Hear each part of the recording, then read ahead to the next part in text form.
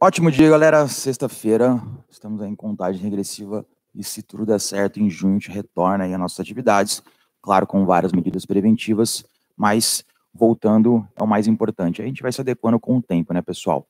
Galera, a gente começa com o trabalho de core, só ativação, tá? Nada muito desgastante.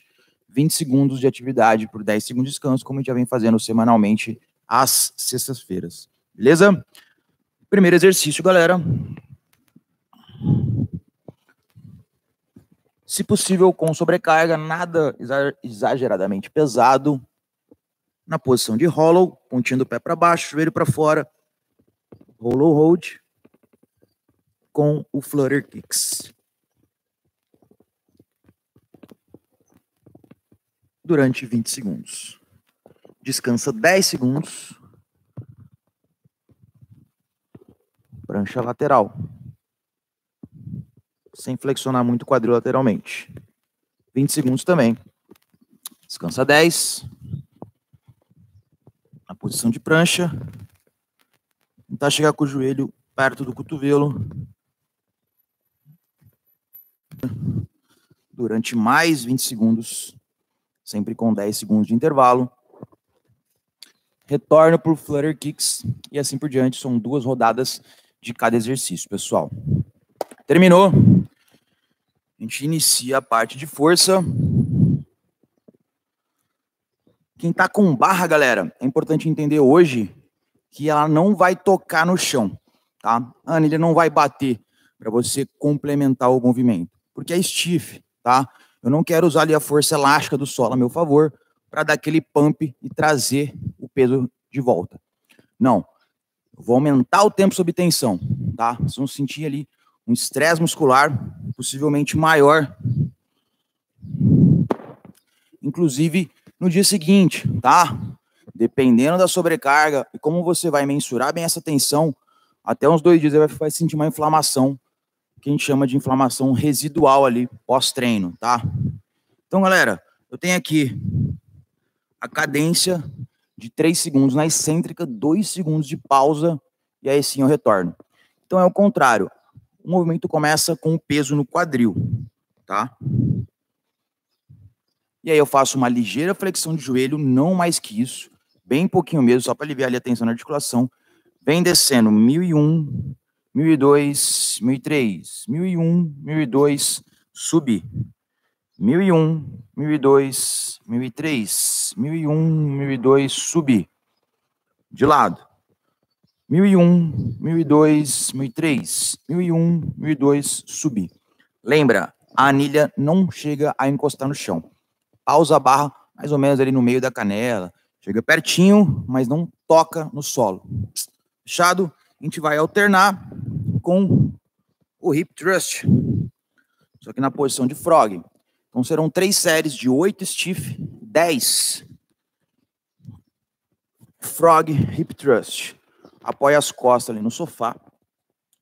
Sola do pé com sola do pé. Joelho bem aberto, não deixa o joelho fechar. E faz a extensão do quadril e flexão. Dez vezes. Forte, controla. Forte, controla. Sempre fazendo força para abrir o joelho. Três séries, então, galera, combinando esses dois movimentos. a gente vai para a parte superior torso roll, biceps curl e aí o body roll. No body roll, galera, eu não tenho mais as caixas altas aqui para demonstrar para vocês, mas a gente já fez há várias semanas, beleza? Com pode ser um cabo de vassoura mais firme, eu vou apoiar em duas superfícies, tá? Imagina que tem uma outra aqui, eu vou adentrar aqui abaixo, tá? Do bastão e fazer a remada, beleza? A gente já fez algumas semanas. Qualquer dúvida, galera, joga lá no grupo do WhatsApp. O primeiro exercício, torso roll. Ótimo exercício ali para o dorsal. Pode apoiar novamente ali no sofá. Faz a flexão do cotovelo, olhando lá para a articulação e retorna.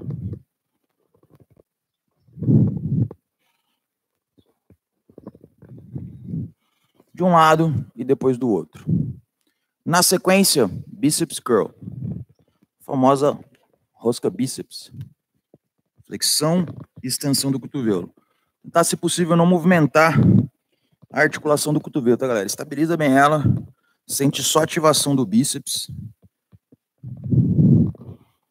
E trabalha com total amplitude, principalmente na extensão do movimento, tá? na fase excêntrica dele. O objetivo aqui não é encurtamento, nem roubar, são métodos da musculação, tá, galera? Que são importantes também. Metodologia ali com auxílio, com roubada, mas não é o nosso objetivo aqui. Vamos trabalhar com amplitude total. Quem tá com barra,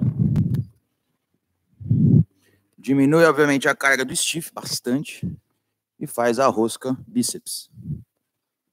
Tá? E o terceiro movimento é com o peso corporal arremadinha. Beleza? É importante entender, galera, se vocês perceberem bem a nossa periodização, de segunda e quinta, né? Eu mudo ali a disposição dos exercícios, mas segue uma coerência, né? Mais voltado para agachamento, mais voltado para empurradas. E de terça e sexta, eu trabalho mais a parte posterior. Dessa maneira, a gente combina ali os movimentos para que haja uma simetria, tá? Desenvolvimento dessa maneira da musculatura global.